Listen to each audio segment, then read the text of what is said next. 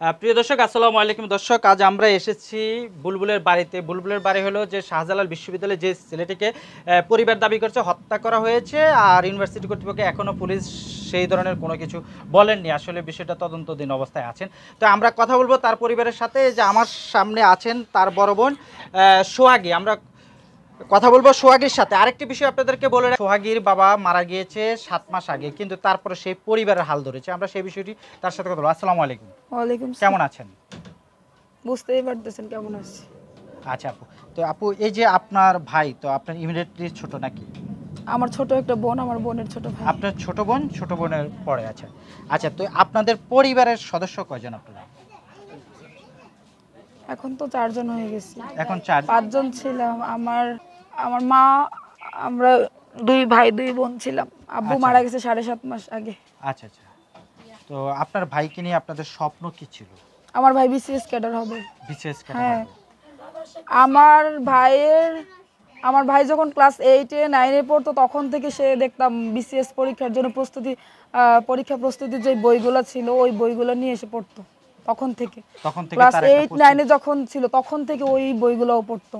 আর last কয়েক মাস আগে আমাকে বলছে যে আমি কোচিংয়ে ভর্তি হব বিসিএস পরীক্ষা প্রস্তুতির জন্য কোচিংয়ে ভর্তি হব আমার টাকা লাগবে। তখন আমাকে বলছিল পনেরো হাজার টাকা লাগবে। আমি ওরে পনেরো হাজার টাকা পাঠাইছিলাম।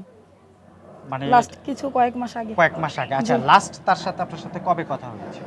লাস্ট আমার ভাই তো পঁচিশ তারিখ হ্যাঁ পঁচিশ তারিখ না চব্বিশ তারিখে আমার সাথে কথা হয়েছিল।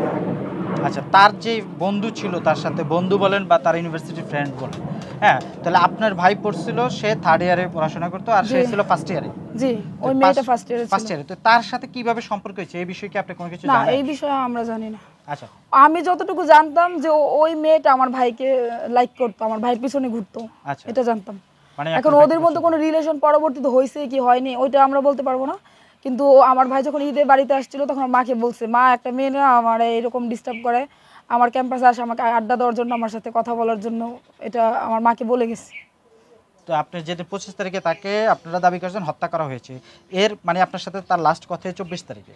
হ্যাঁ চব্বিশ তারিখে আমি কথা বলছি পঁচিশ তারিখ সকালে আমার মার সাথে কথা হয়েছে। এই যে চব্বিশ তারিখে যখন আপনি কথা বলছেন এর আগে যে তার আচার আচরণের কোনো পরিবর্তন মনে হয়েছিল আপনি চব্বিশ তারিখ কথা বলে? নাকি অ্যাজ ইউজুয়াল না আমার ভাই তো আমার সাথে অনেক দুষ্টামি করল।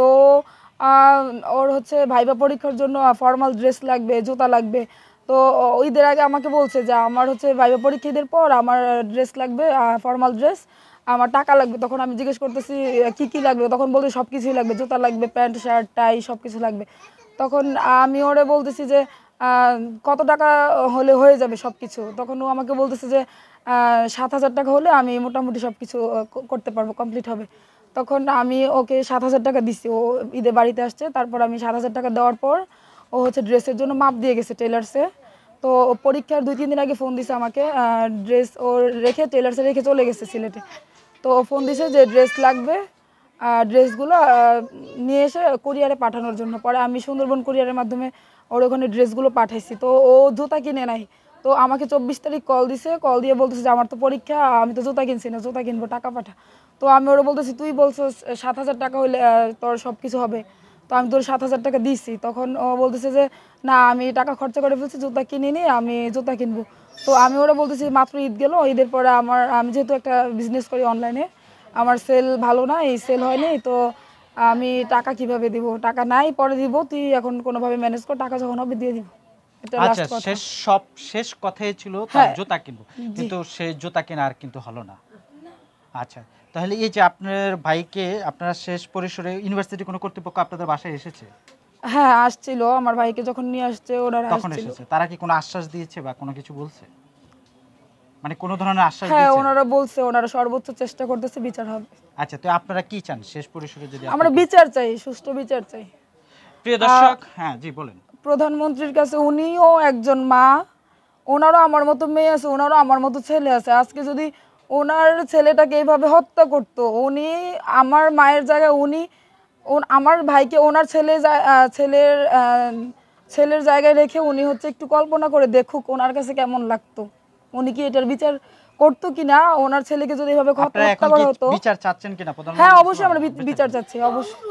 প্রিয় দর্শক আপনারা দেখছেন আসলে তারা চাচ্ছে যেন এটা সুস্থ একটা বিচার হোক বা যারা অপরাধী এই ঘটনার সাথে জড়িত আছে তাদের শাস্তি দর্শক ভালো থাকুন সুস্থ থাকুন। আল্লাহ হাফেজ। আসসালামু আলাইকুম।